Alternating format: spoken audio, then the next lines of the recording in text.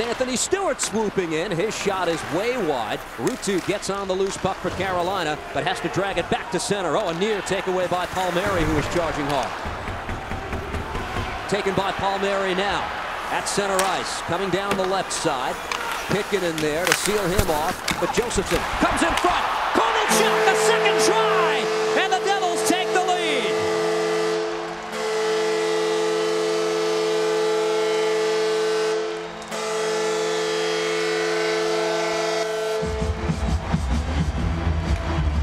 This is just what the uh, doctor ordered for Mr. Ilya Kovalchuk.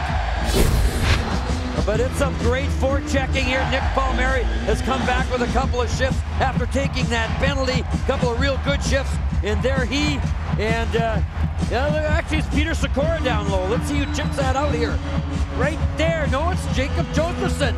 Terrific play by Josefson after Palmieri pressures the Canes defense. Cam Ward